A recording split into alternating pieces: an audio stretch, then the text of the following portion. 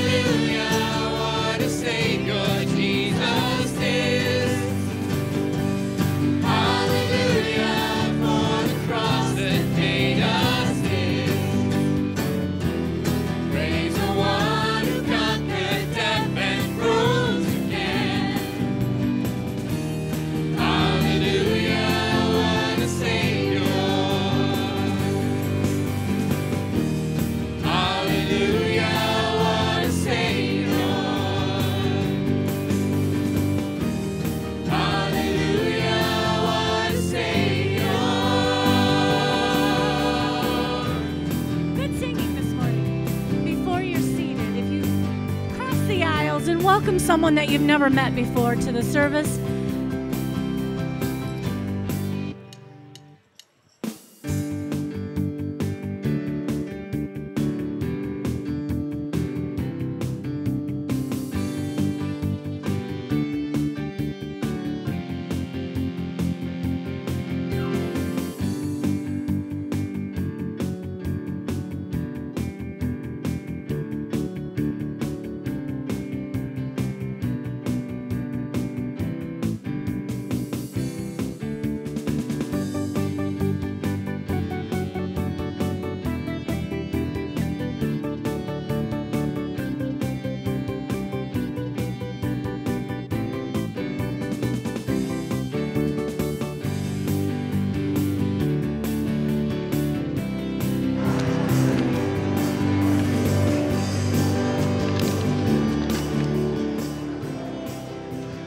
Well, good morning and welcome to Jasper Bible Church. I know it's quite crowded. I think there's a couple of spots right over here uh, if you're needing to find a space there today. You brave people, we're so glad to see you. And ushers, if you would hand out the Ministry of Friendship books. And uh, if you are visiting with us, all I can say is I'm so glad that you are, and we are so glad that, uh, to have you with us today. And if you will sign the Ministry of Friendship book along with everyone else, that will give us record of your attendance with us today. And I have several announcements to uh, mention. And one I want to share with you it's a card from uh, the McLaughlin family. And uh, with, uh, it says, Thank you for your prayers, visits, gifts, flowers, cards, and words of comfort during our difficult time. And again, thank you very much. And from Sharon and Troy and Sandy McLaughlin. And if you recall, uh, Jason McLaughlin uh, passed away as a result of a, pilot, and the plane went down. And continue to be praying, if you will, for the, the family. Um, also, to share with you, I can already announce that there is uh, no evening service tonight. And I know, I know you're shocked, but uh, uh, no service tonight. And for those who are home and watching this live right now uh, on your computers, uh, we, maybe we have as many doing that as we have in here. And uh, uh, we'd like to welcome you to our service as well. And what we'll do is we have someone that's going to drive in with an offering plate to your. No, I'm kidding. Anyway uh, to share with you uh, tonight uh, with no evening service. And then also, um, there is uh, no Awana Tuesday night because of all the real cold weather that's coming. So, just to let you know with that. Tomorrow, for teens, um, I will be calling in the. Uh, uh, for those who have gotten with me in the past couple weeks as far as the winter freeze out and the summer mission trip. So if you have uh, turned in the money or the deposits uh, for that, I'll be making that phone call tomorrow. As of now, Wednesday night is on. You can always check radio stations as well as the church website. But um, uh, so keep that in mind, if you will. And a um, supper beginning at 6 o'clock for the teens, and music from uh, Fortress, all kinds of things. You'll notice that Larry Keck will be leading the adult Bible study and prayer time, and Betty Joe Pickles for grades 1 through 6. Also, Light Homeschool Co op uh, starts up Friday. Friday looks to be a good weather day, uh, so to let you know about that. Also, to share with you that our scripture memory program, where the teens and actually even younger kids, if they want, are able to earn scholarships towards summer camp or the summer mission trip. And I have those sheets available. Get with me after the service this morning, and I will hand those sheets to you because it has that starts next week, and I have uh, those um, uh, the passage that you need to memorize and, and all that information. I'll also have those available Wednesday night, and we'll put that on the uh, Student Ministries website for, so for the teens that aren't here today, so they'll be aware of that.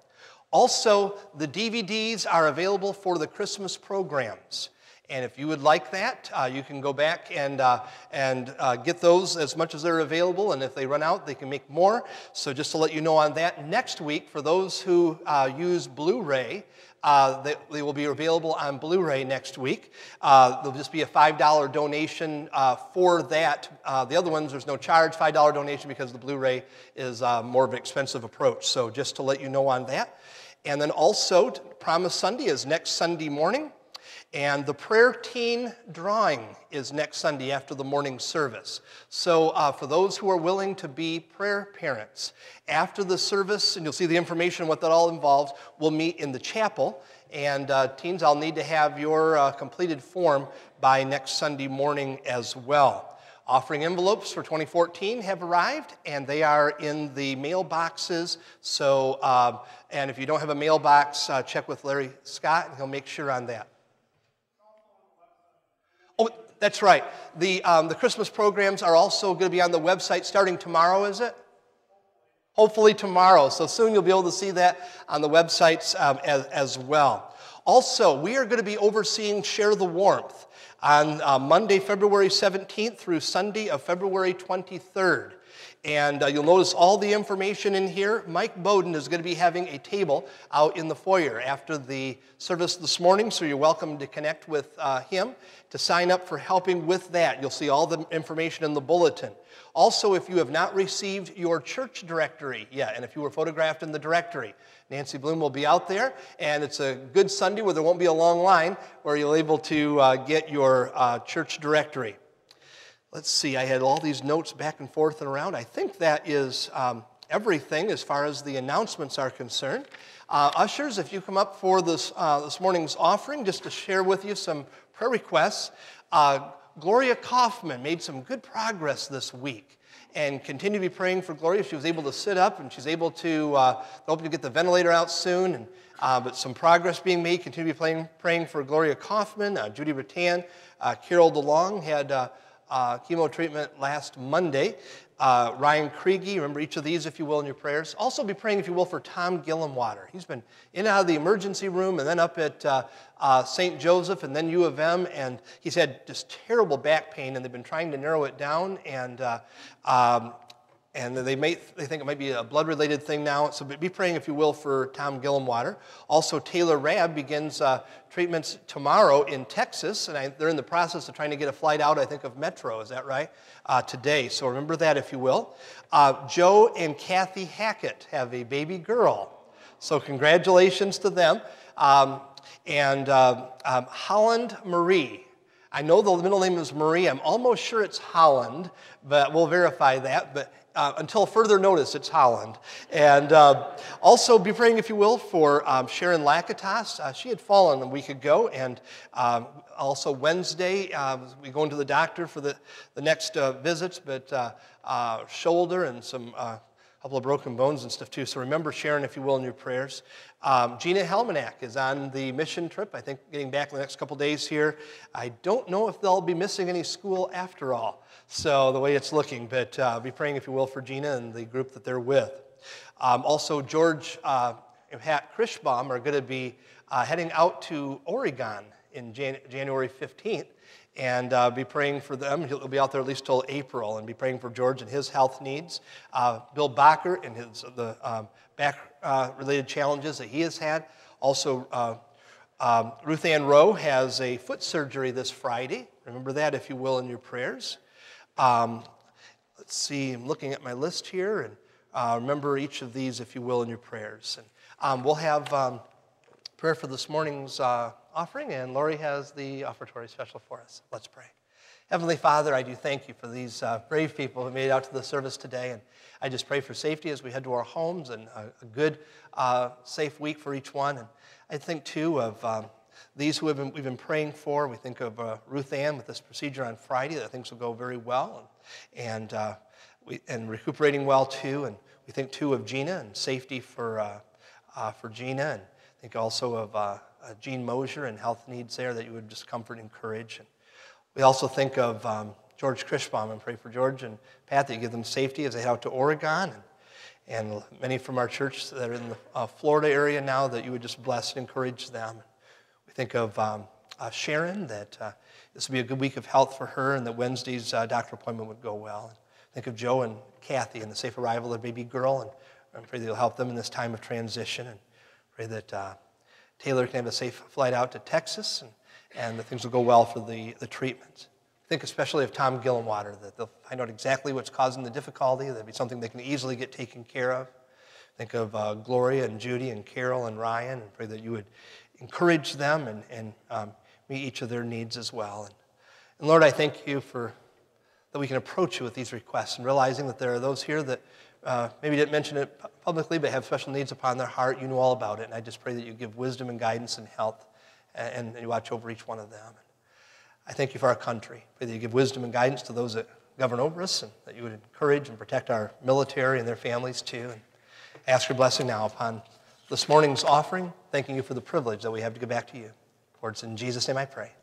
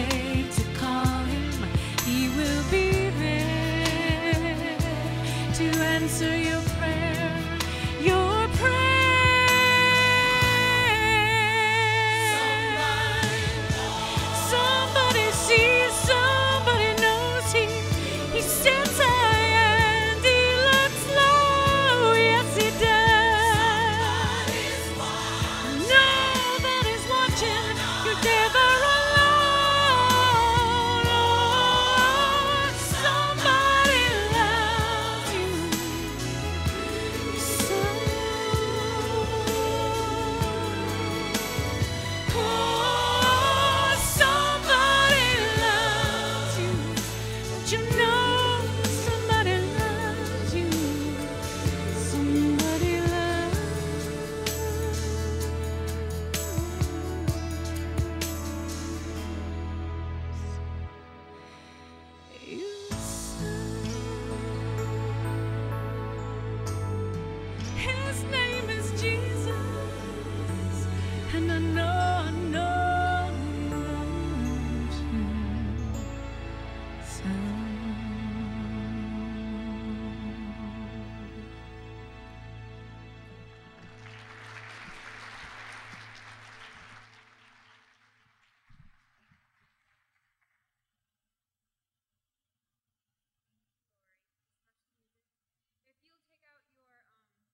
and turn to hymn number 378. We'll sing Stand Up for Jesus. Hymn number 378, Stand Up for Jesus, and let's stand.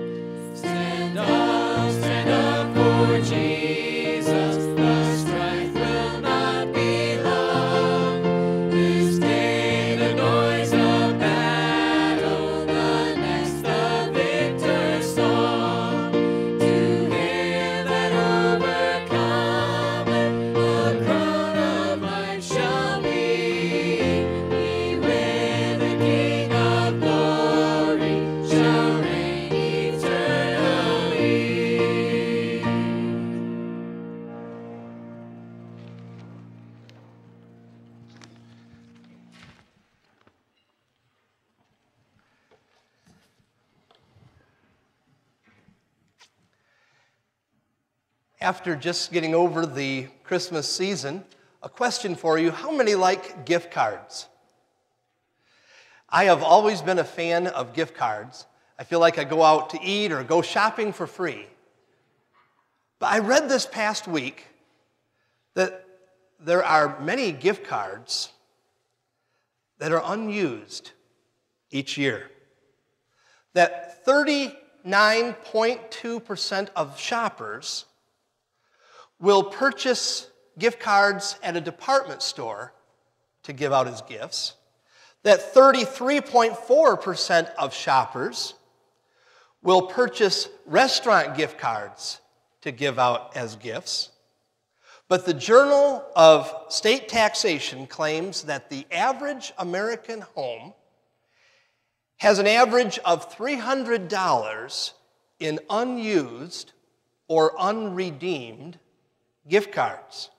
Now, some of these cards have been misplaced, others have been accidentally thrown out, others have only been partially redeemed. But from 2005 to 2011, $41 billion in gift cards went unused. Now, picture this the price has already been paid. But many do not claim the gift that has been offered to them. Can you think of anything else that's sort of like that? Where the price has already been paid and all they have to do is claim it rather than go unredeemed? Amazing, isn't it? That Jesus came to this earth 2,000 years ago to die on the cross in our place for our sins. He has done the work for us. He's offering eternal life in heaven as a gift.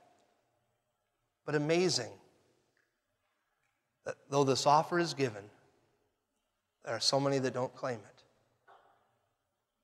and go unredeemed. How about you? Have you made the most important decision of your life? The Bible says that we've all sinned and fall short of the glory of God. The Bible says that 2,000 years ago, Jesus came to this earth for the purpose of dying on the cross in our place for our sins. That he didn't stay dead, but he came back to life again. And that the one way to heaven is through receiving Jesus and his death on the cross as payment for our sins. It's already been paid and it's being offered to you. Have you made the most important decision of your life? If you bow your heads, please. If you aren't sure, if you have any doubt about it, you want to get that settled today. The Bible said these things are written so you can know that you have eternal life. The Bible says, For whosoever shall call upon the name of the Lord shall be saved. If you'd like to claim the gift that's been offered to you, God knows the sincerity of your heart. You can simply follow along with me right now in this prayer. Heavenly Father, I admit that I have sinned and that I need to be saved. I believe that Jesus died on the cross for my sins and that he came back to life again. So I invite Jesus into my life. I receive him as my Lord and Savior. And Lord, for those who just prayed that prayer with me, please give them the courage to share that with me after the service this morning so I can rejoice with them and answer any questions they may have. For it's in Jesus' name I pray. Amen. Praise team, if you'll come up again and lead us in another hymn. It's hymn number 498, When We All Get to Heaven. 498, When We All Get to Heaven. We'll sing all four verses before our main message for this morning. 498, when we all get to heaven. Let's stand as we sing, please.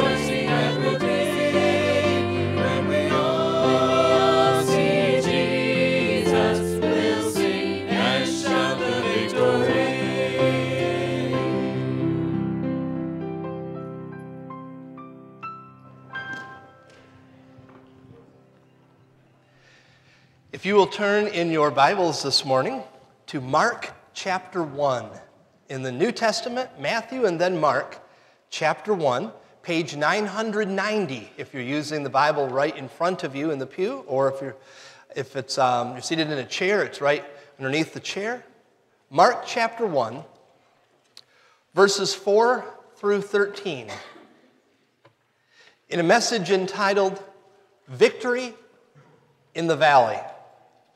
Victory in the Valley. Have you ever had a mountaintop experience when you received a great accomplishment or recognition? Or have you ever had a valley experience when you've entered a time of severe testing? Perhaps you've had both. But if you paused for a moment to think about it, what you may often find is that the mountaintop experience is usually followed by a valley experience. Mountains and valleys. That's the subject of this morning's message. You see, from time to time, God will allow us to receive a great accomplishment, a great recognition, a mountaintop experience, something that we've been praying for, something that we've been anticipating. And we actually experience that. Perhaps it's a job promotion. Perhaps it's a first place trophy. Perhaps it's a longed for possession, a long overdue recognition. And as we experience that thrill of victory, as we experience that mountaintop within our lives, Satan is licking his chops because he sees it as a perfect opportunity to push us down the cliff. You see, Satan has read the proverb that pride comes before the fall. And he read it a long time before you did. And therefore, as we dislocate our shoulder, patting ourselves on the back because of the mountaintop experience that we're going through, we need to realize that at that moment, Satan is scheming. And for Jesus, here in Mark chapter 1, the mountaintop experience was not a job promotion. It was not the purchase of a new Chevy Camel, but what it was was a baptism. You see, Jesus' baptism was no ordinary baptism. John the Baptist was preaching to the multitudes Repent, you vipers, you snakes. You read it, you see all that he's at and what he's doing. Confess your sin. The Messiah is coming. Notice, as it says in verse 4. And so John came, baptizing in the desert region and preaching a baptism of repentance for the forgiveness of sins. The whole Judean countryside and all the people of Jerusalem went out to him, confessing their sins. They were baptized by him in the Jordan River. The notice as verse 7 continues. And this was his message After me will come one more powerful than I the thongs of whose sandals I am not worthy to stoop down and, and untie. I baptize you with water, but he will baptize you with the Holy Spirit. And guess who comes to make a guest appearance? Notice in verse 9. At that time, Jesus came from Nazareth in Galilee and was baptized by John in the Jordan. This was no ordinary baptism. Jesus, at age 30 years old, traveled by foot a distance from Jasper to Lansing to get baptized. And like, unlike all the other ones who were confessing their sins and then were baptized, Jesus was without sin. He had committed no sin. So instead of John the Baptist pointing at Jesus and saying something about snakes and vipers, John the Baptist said of Jesus, Look, behold, the Lamb of God who takes away the sin of the world. In fact, John the Baptist would say of Jesus, I need to be baptized by you, and yet you ask me to baptize you? And yet, in humility and submission, Jesus was baptized by John the Baptist. This was no ordinary baptism. It is an important event that all four Gospels record. Has to be big. Not all four Gospels even record the birth of Jesus. Only John records Lazarus rising from the dead. But this was important enough that all four Gospels record Jesus' baptism. And in verse 10, notice who shows up for the event. As Jesus was coming up out of the water, he saw heaven being torn open and the Spirit descending on him like a dove. And a voice came from heaven You are my Son, whom I love. With you I am well pleased. The whole Trinity God the Father, God the Son, Jesus, and God the Holy Spirit are all present for this special occasion. Talk about a mountaintop experience. This was no ordinary baptism. John the Baptist is saying, Behold the Lamb of God. The Holy Spirit descends upon Jesus and points him out, saying, This is the man. The voice of the Father from heaven quotes from Psalm 2 7, pointing out to everyone that's there that Jesus is the Messiah that they have been waiting for. Heaven is torn open as God breaks into human existence to deliver his people. Have you ever had a mountaintop experience like that? But just when you are about to clear your throat so you can sing the Hallelujah chorus, verse 11 goes to verse 12. And it says, At once the Spirit sent him out into the desert. And he was in the desert 40 days, being tempted by Satan. He was with the wild animals, and angels attended him. This was not a pleasant experience. That word sent that you see in verse 12, it's the Greek word ekbalo, which means to throw out or to drive out. In fact, you'll see the same word in verse 34, where it's talking about Jesus driving out a demon. Same word. So, who is the chauffeur that is driving out Jesus into the desert? The Holy Spirit. Nice guy, huh? He's identifying Jesus as the King of Kings and Lord of Lords, and then immediately body slams him into the desert. And what was Jesus doing in this remote area that was just west of Jericho? Was he roasting hot dogs next to a cactus? Perhaps a little couple quickie temptations in the middle of a wonderful vacation? No.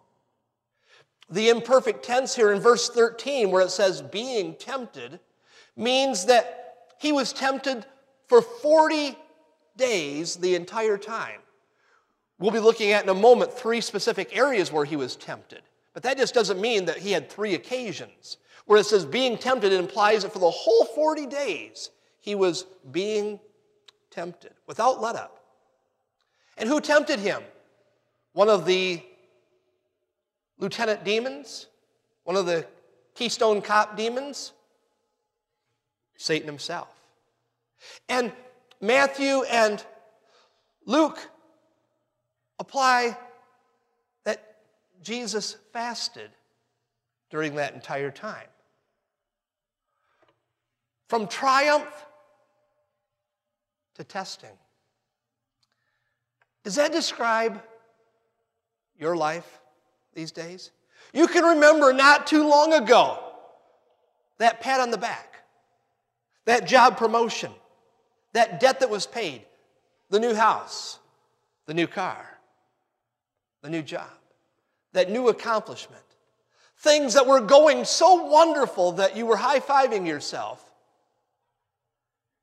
And then it seems, just as a verse 11 goes to verse 12, that you were kicked off the mountaintop and you find yourself body slammed into a trial, into a temptation, a physical, emotional, relational, financial, or spiritual valley. The heaven that once seemed open in your honor now seems extremely silent. In fact, the only voices that you seem to be hearing are from creditors, doctors, or lawyers. You're being singled out, all right, but it doesn't seem as though you're being singled out for cheer, but for sneer and jeer. How do we survive such a deep valley? The answer is, is we do what Jesus did. According to Mark, as well as Matthew 4 and Luke 4, there are three specific areas where Jesus was tempted. We see it specifically, as you'll notice up here, 1 John chapter 2, verse 16. It says, For everything in the world, here's the three areas the cravings of sinful man, the lust of his eyes, and the boasting of what he has and does comes not from the Father, but from the world. The three areas cravings of sinful man, lust of his eyes, boasting of what he has and does. If you'll keep that up there for a while, we'll keep referring to it. The first one that we see is the craving of sinful man. You're familiar perhaps with the temptation. And the first temptation was to change the stones into bread. Remember, he'd been fasting for 40 days, changing the stone into bread. Now, do you think that the one who created the world, do you think that the one who resurrected the dead could do it? Faster than you could say jelly donut. Do you think that Jesus was hungry? He was hungrier than 30 teens at Little Caesars. But did he give in? Even a nibble? Even a crumb? No, instead, he quoted Scripture, which directly refuted the temptation that he was going through.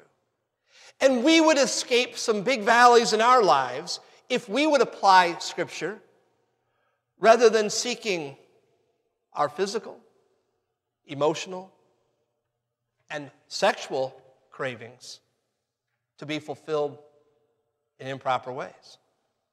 But there was a second category where Jesus was tempted, and that is the lust of the eyes. In other words, greed. Remember that he was standing there and Satan was showing him all the world kingdoms and said that he could have it all, even without dying on the cross. He could have it all if he would just worship Satan. Quite an offer. And the word for worship here, just a little bow down, a little curtsy, nothing really big. And he could have all the world without one flogging, without one mocking, without one nail, without our sin being heaped upon him, but instead he attacked Satan with Scripture and he went to the cross to die for our sins. Jesus had victory over greed. And today we would escape some big valleys if we would apply Scripture and seek God's kingdom first, rather than seeing how many gadgets and toys we can accumulate before we die. He had victory over greed.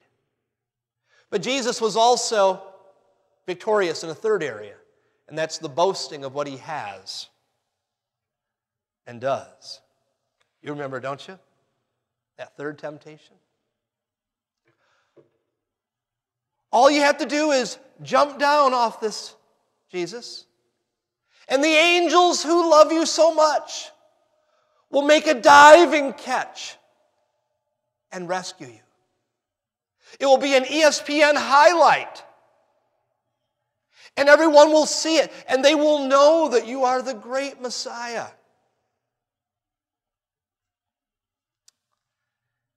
And yet, Jesus attacked Satan with Scripture. Ironically, with this temptation, Satan even quoted Scripture. And by the way, sometimes if we want to twist Scripture around and leave a few things out and take it out of its context, we can try to get God's Word to say all kinds of things that it doesn't say in mean. Even Satan quoted Scripture, he left out a very important phrase. But Jesus accurately quoted Scripture, attacking the very temptation that was happening. By the way, are you dealing with temptations, struggles, defeats?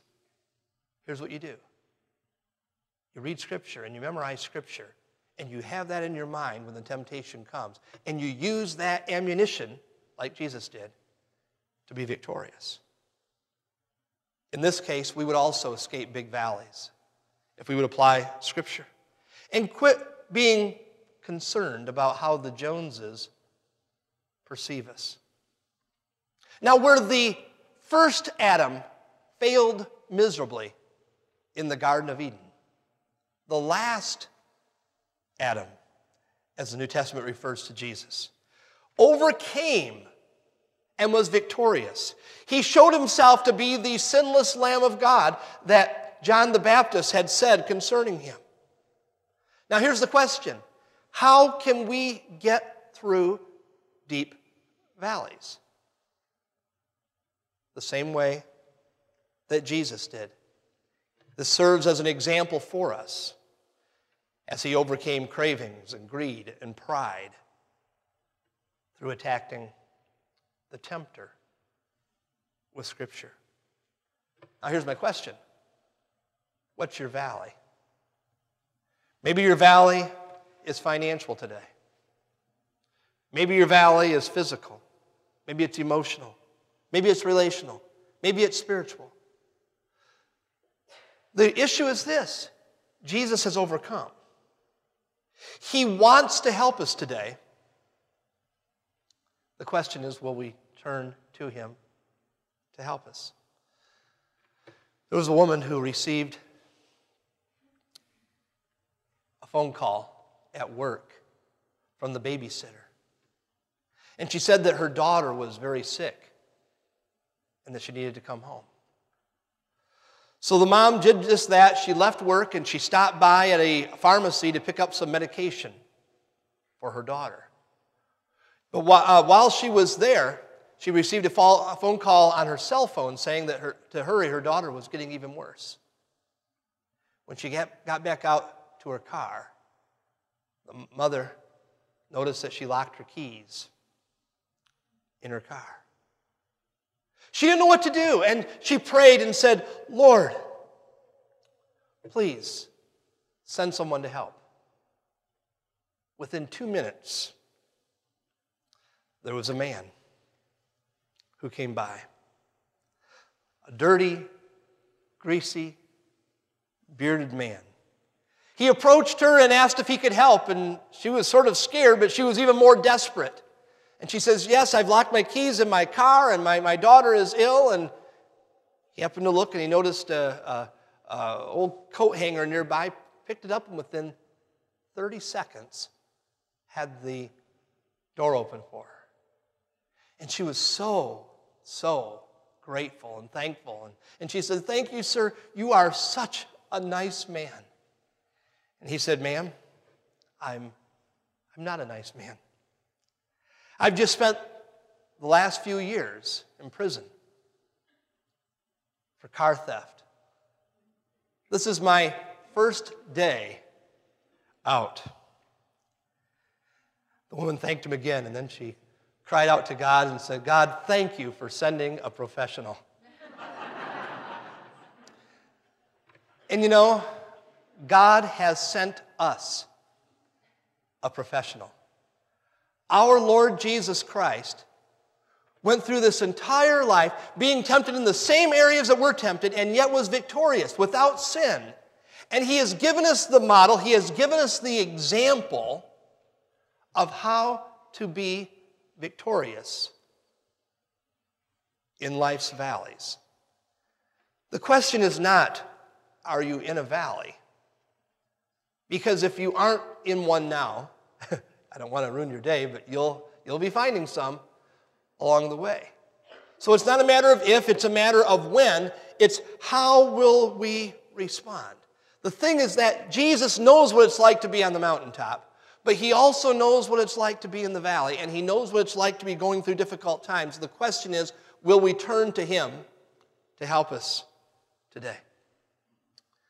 Now, I don't know what this new year is going to bring. As of now, it looks like a lot of snow and a lot of cold weather. 2014. I know there are some within our church who have gone through some difficult valleys in 2013. They're grieving, they're hurting, medical difficulties, all kinds of things. And there's no way that I can guarantee that this year is going to be a better year with no valleys and only mountaintops. But what we can guarantee is that we can have victory in the valley because Jesus has overcome.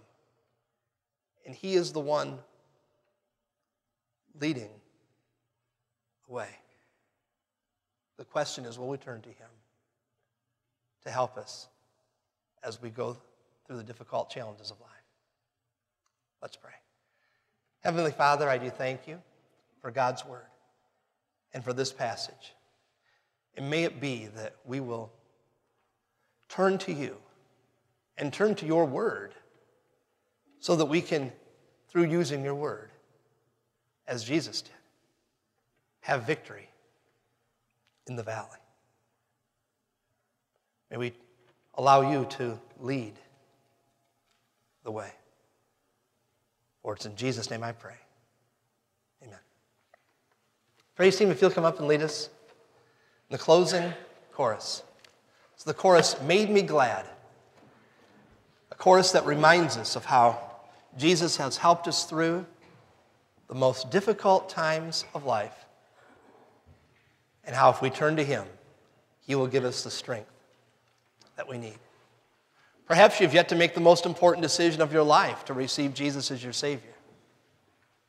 As always, the invitation is open to you. Perhaps you have made that decision. Perhaps you're struggling and need to turn to the one who has overcome. Invitation is open as well. So we sing the closing chorus, Made Me Glad. Let's stand as we sing, please.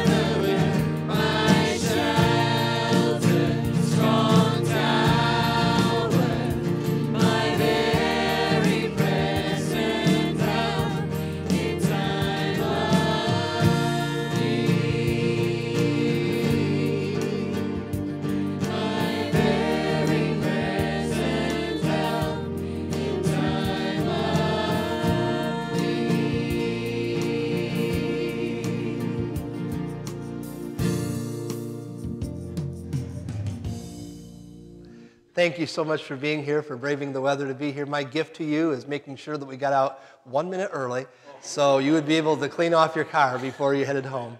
Again, no service this evening, no Awana on Tuesday night. Reminder to the teens that uh, uh, we have the scripture memory program that starts next week, as well as the uh, prayer uh, teen forms to fill out. So if you didn't get those from me yet, get those from me if you're interested uh, before you leave this morning.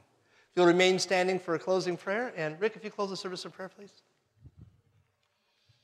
Father, I just pray now that you would uh, bless and watch over us, and we do go through those those valleys, and even when we're on the mountaintop, that Lord, that you would bless us and give us strength and give us encouragement and help us through those times, and, and then to be thankful when we are on that mountain. Thank you so much for your love and your blessings, and I pray now as we leave here that you give us safety as we head to our homes, and give us a good afternoon and a good week. And we pray these things in Jesus' name. Amen. And we're dismissed.